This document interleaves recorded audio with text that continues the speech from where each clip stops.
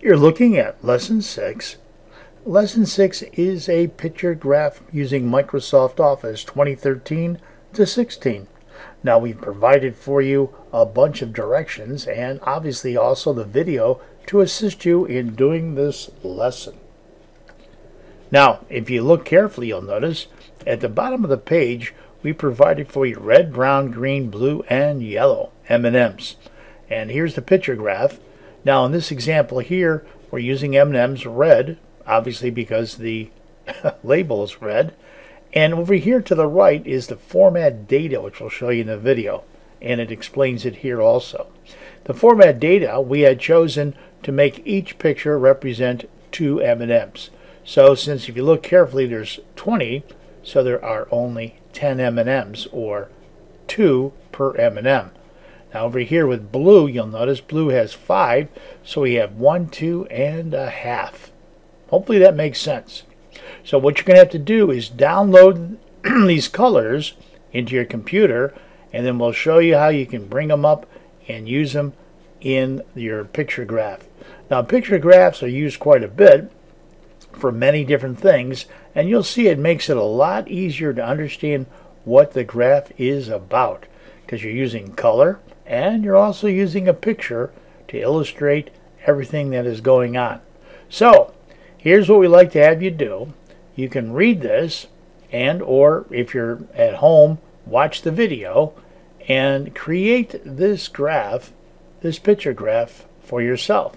And then if you're at home you probably can print it out. Depending upon where you are, you may want to use a color printer, which would be advantageous because the graph is, is in color.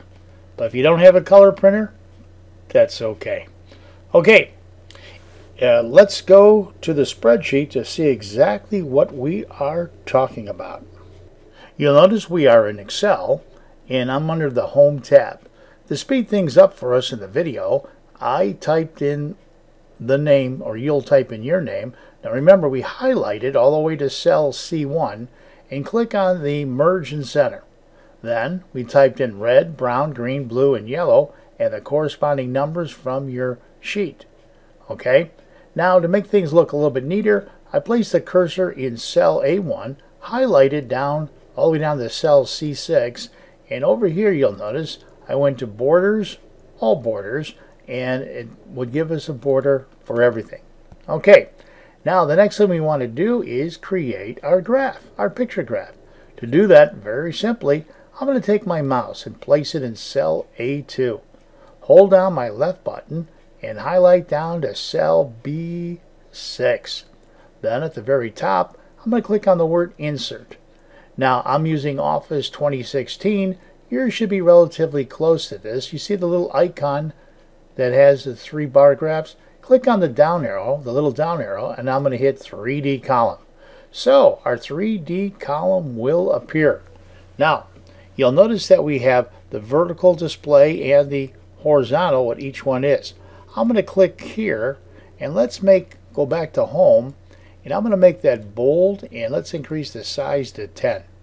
Same thing holds true with the vertical display. I'm going to make that bold and increase that size to 10.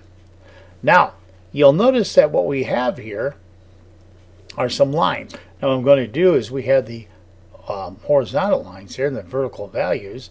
But to see this better, I'm going to take my mouse, place it right here, and click on this line, and click on the color I would like for it to be. In this case, black, so we can see things a little bit neater. Okay?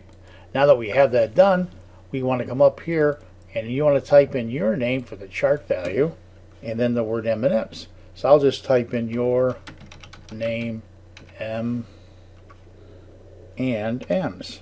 Okay? Oops. M.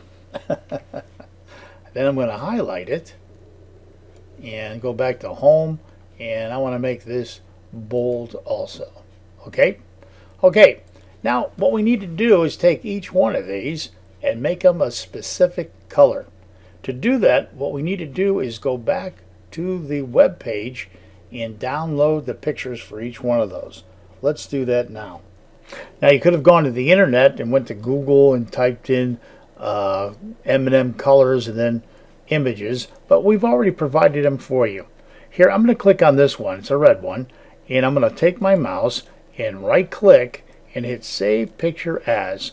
And when I do, it says small red. You'll notice I've already done it for the rest of these, so we don't have to waste your time in seeing how we do it. Then just simply hit red, and it says, oh, it's already there when I replace it. You do the same thing, let's say with yellow. Click on it and hit Save Picture As, and here it says small yellow, and we already have that one, okay? I'm not going to save it because we've already done that. So that should be pretty easy to do. Hopefully that one made sense. Okay, here we are back in Excel. and what I'm going to do is click on this 3D column, but you notice that they're all highlighted and we need to click on it a second time so only it is mm-hmm. highlighted and not those. Then upon doing so, I'm going to right click and hit down the little pail there and you'll notice it says picture. Now the first time you do this you're going to have to find your pictures but the computer will remember. I'm going to click on browse and the first one's red so this is a red one here and just simply click on insert and now it's one big red wow that can't be right because what we need to do now is is specify what that one M&M stands for so I'm going to right click again and I go down format data point. and when I do that over here to the right this little format should show up I'm going to click on the pail and when I do that down here it says uh, stretch, that's where it is right now, stack or stack and scale. I'm going to click on stack and scale. Now you can see there's a whole bunch of M&Ms. What I'm going to do is change this number from 1 to 2. So each M&M represents, oops, each M&M will represent 2. So here's 1, 2, 3, 4, 5, 6, 7, 8, 9, 10. And you notice there's 20 of them. Okay, Let's look at brown and see how we can do the same thing with brown. Again, I'm going to click on brown, so only it is highlighted. You see that? I'm going to right click, hit on my pail, picture, click on picture. Again, we're going to browse, and I look on brown. I click on brown and hit insert. When I do that, again, it's one big stretch, but we want to change that, right? So I'm going to right click, format data point, click on my pail, and again I'm going to hit the stack and scale width. Click on that one, and we need to be consistent. If the first one's 2, we better make them all 2. And just simply hit your enter key, and now it changed. Now you'll notice that brown is 15. So we have 1, 2, 3, 4, 5, 6, 7. 2 times 7 is 14, and we have a half of one. That's 15. Let me do one more just to make sure you've got it. Okay, I'm going to right click, click on my down arrow on the pail, picture, browse, and I want green, and click on insert. And it's one big green, right? Okay. Now, uh, if, you, if it's not open or brought up, you need to do this. Right click, format data point, click on the pail, stack to scale. Now remember, you have to be consistent I'll make this one 2 and hit my enter key. So now we have 2, 4, 6, 8 green. And what do we have here? 2, 4, 6, 8. While we're doing that, let me show you a little neat trick here. I'm going to take the 8, okay, and I'm going to make that 18. Watch what happens. It automatically adjusts for you live. Okay, I'm going to go back and leave it as 8. Hopefully that made sense. Okay, let me do the other two without you watching so we can speed this up. Okay, you'll notice we've done them all. Now, what I'd like for you to do is take your chart, move it over here to the left so it's directly underneath your spreadsheet. Okay? Now, remember, if the chart's by itself, as you can see it's highlighted, if I were to go to print, only it would print out. However, when I place the chart here and I click off of it, it is called embedded. So that means when I print out my spreadsheet, the chart will print, will print out right along with it. Now, the next thing we want you to do is go up here where it says Page Layout, click on it, Page Setup, click on the little tiny down arrow, and Header and Footer. Custom Header. We want you to type in your name.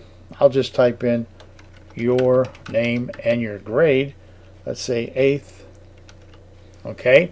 Now over here to the right, watch this. This is pretty neat. Over here we have the date. So I click on the number 7 and the date will appear. Hit my spacebar twice and then click on the time. Then click on OK. Now, if you want, what we can do, just to show you what it looks like, I'm going to click on Print Preview. And when you do that, you'll notice it shows up, Print Preview. And it's got today's date and the time and everything is all set up for you nice and neat. So what you need to do here then simply is I'm going to hit my escape key to go back. You want to save this to your computer or wherever you're saving it. I don't know what class I'm teaching this for, so I have to be general. And also, if it's one of the classes I use at the printer, we can hook it up, or I can come over with my flash drive, save it to my flash drive, and we can print this out. Obviously, if you have a color printer, it comes out pretty neat because you have the colors. If you don't have a color printer, you're just simply going to get black and white. Okay, hopefully all of this is easy to do. Now remember, you are using a picture graph for M&Ms. The problem is, or it's not a problem, but realistically, you can do this for anything, okay? All right, well, thank you for watching our video. That's all, folks.